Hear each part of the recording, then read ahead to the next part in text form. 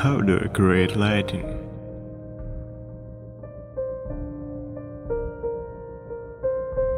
Hmm. Just a graphic tablet. Just a soft round brush. Just a normal mood. Just choose the right color. So, what's next?